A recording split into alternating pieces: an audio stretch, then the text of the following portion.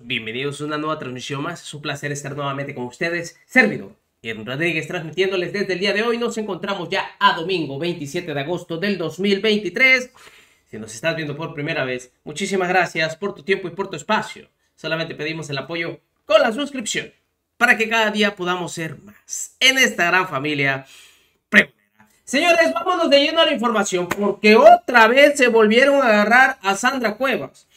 Y es que todavía hace un par de semanas vimos como la señora, muy enojada, había dicho a medios que le bajaran de tono los partidos que la pusieron ahí de esta coalición, porque ella todavía no había tomado una decisión y que dejen de andar de carroñeros buscando su posición como alcaldesa porque ella todavía seguía ahí, quería respeto.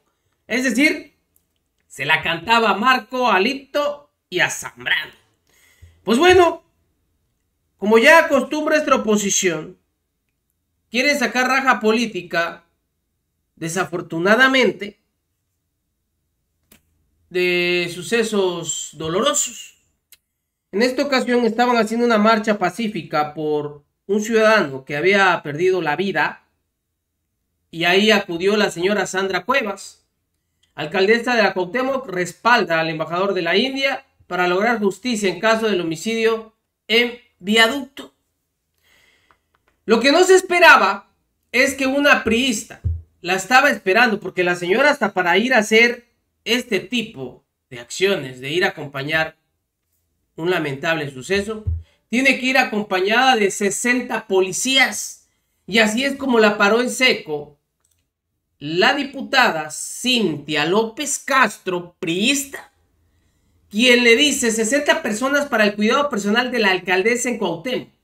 Esto denuncia. Y no solo eso, también le dice que se la vaya pensando porque no la van a respaldar nuevamente para reelegirse. Que vaya y que le pida perdón a Moreno o que se la juegue como independiente porque bye bye. Así se la cantó en la calle, la paró en plena calle y se lo dice en su cara. Porque primero denunciaba lo siguiente. Bueno, pues aquí afuera del Parque Gandhi, en la Miguel Hidalgo, íbamos caminando en la marcha que me invitó el embajador de la India en México en apoyo al asesinato del empresario hindú a balazos en viaducto exigiendo seguridad. Estaba la alcaldesa Sandra Cuevas con un operativo más de 60 personas para su cuidado personal, usando las patrullas para llegar y para subir cuando no es un vehículo personal. La alcaldesa no tiene por qué estarse subiendo a, las patrullas, es para cuidar a la gente.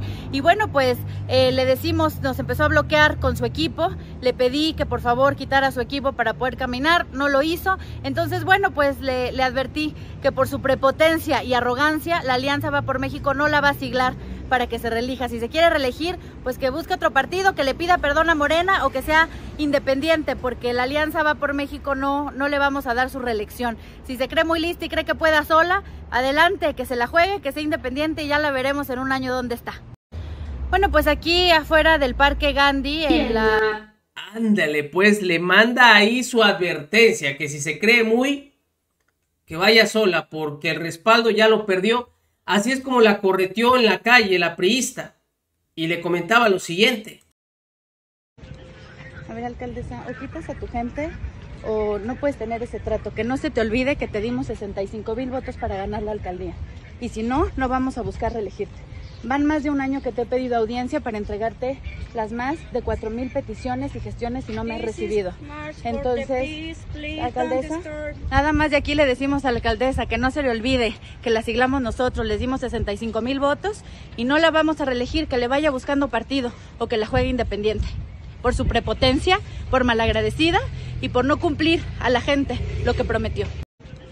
A ver, alcaldesa, o quitas a tu gente o no puedes tener ese trato. Que no se te olvide que te dimos 65 mil votos para ganar la alcaldía. Y si no, no vamos a buscar reelegirte. Pues ahí está la señora Vende Dulces, que se pagó todo y que ha recorrido varios países derivado de ese ingreso. Pues ya le dijeron y se la cantaron en plena calle que ni le busque porque no la van a respaldar no la van a volver a siglar. Tal parece que sí La señora por eso andaba buscando ya su plan A, su plan B. El plan A, ser la próxima jefa de gobierno. Su plan B, si no, se va a la Secretaría de Seguridad Pública. Plan C, reelegirse otra vez como alcaldesa de la Cuauhtémoc. No, bueno, aquí lo increíble es que todavía, hace un par de meses, decía que ya estaba asqueada de la política en México. Pero ahí la ve, buscando otra vez hueso y seguir viviendo el erario. Tal parece que los dulces no andan jalando como ella quisiera todavía y hay que seguir robándole al erario público. Porque cuando también la paran los vecinos y la cosa empieza a salirse de control, o llegan sus personas que siempre la andan cuidando, o empieza a gritar que se trata de gente enviada de Morena. Sí, y esto ocurrió todavía hace un par de días, en donde se vivió este, esta confrontación entre Ciudadanos y Sandra Cuevas, donde le exigen lo mismo, que atienda las peticiones que les están haciendo a su grupo de trabajo y a ella misma. Y vean ustedes, aparece, no sé si es su prima, ya se ha comentado en varias ocasiones, pero es familiar de ella, a meterse, a hacerse un lado para que ya no le sigan reclamando a la señora, claro, a los alrededores, la policía que siempre la acompaña. No bueno, lo bueno que está para cuidar a la ciudadanía. Usted no pide un permiso para que se pueda poner un antro. Dígame qué antro. Ahora Roma, nací en esta colonia y la. Ella también Y la habla escondido. Vean la calle de Coahuila. Es la Roma buchona totalmente, llena de antros y de chelerías. Todo lo que me reportan yo no, yo lo quiero. Pero no. Están permitiendo construcciones de más de 50 departamentos en una zona sísmica.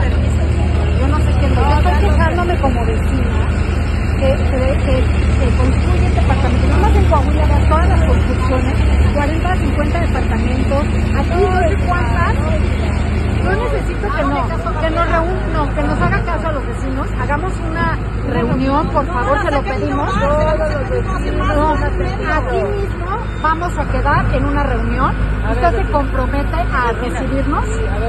Están A ver, a ver, a ver, a ver, a ver, a ver, a ver, yo recibo a mí también me ha hecho caso de Bueno, hoy queremos que se comprometa a que nos recibe con todo este tema de las construcciones de lo que está pasando. Yo atiendo a todos. Yo atiendo a Bueno. todos. Hay construcciones que dejaron autorizadas de administraciones pasadas que eran un monstruo. Los antros, todos los que me menciona la vecina, todos ya estaban. ¿O yo los autoricé? No. Dígame la verdad. No ¿yo lo los sé, no lo sé. Yo autoricé todas, todas las torres que están, yo las autoricé. Yo no las autoricé. ¿Qué sí hago yo? Venir y siempre dar la cara. Siempre doy la cara. Bueno, mañana, Yo mañana ¿a qué hora la nos puede recibo. revisar? Yo ¿A qué hora, Cuando le pido que ¿A qué hora nos puede recibir? Estamos ahí a la No toques. Ni me toques, no me toques. Tú tampoco me toques a mí,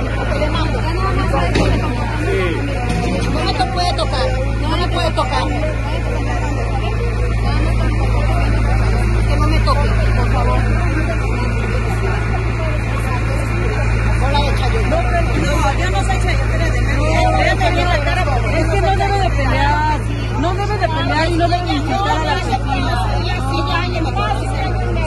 Y acéptelo, y acéptelo.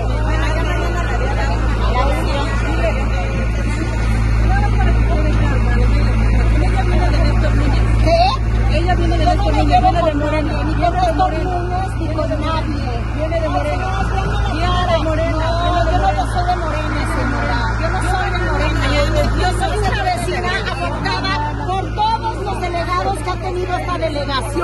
Corruptos todos ladrones. Todos.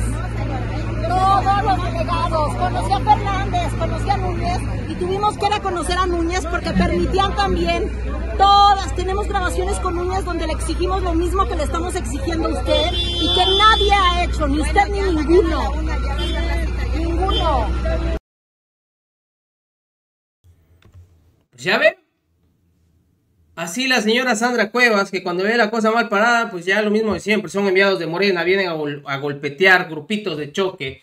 No bueno, lamentable. Y vamos a ver en qué va a acabar esta señora Sandra Cuevas, porque ya se la cantó ella al PRI, PAN, PRD, y ahora ellos le contestan y la corretean. Pero aquí lo que da risa, y es verdad, ¿eh?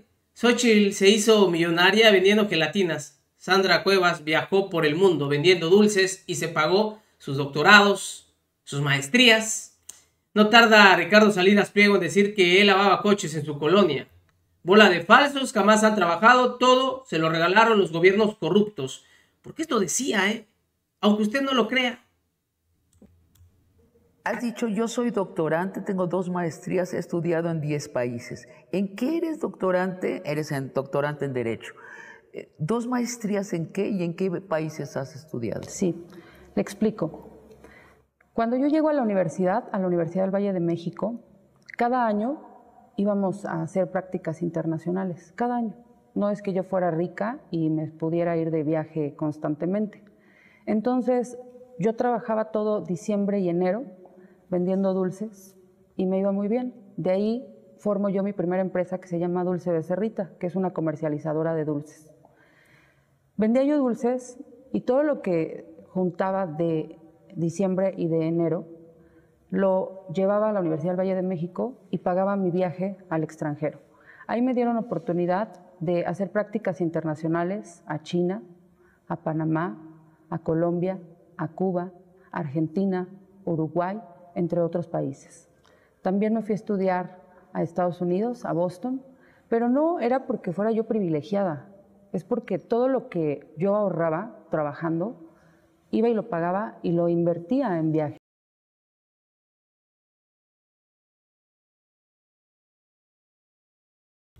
No, pues, quién sabe qué tipo de dulces vendía la señora para poder ahorrar en dos meses tanto dinero e irse a viajar, como ya vieron ustedes, por todos estos países. ¿Quién les cree? ¿Quién en su sano juicio les cree? Nos vemos en una siguiente emisión, señores. Que sigan pasando un agradable día. Servidor, Rodríguez, transmitiéndoles desde su canal. Recuerden, la información está ahí. Y depende de todos nosotros el preguntarla. Nos vemos en una siguiente emisión.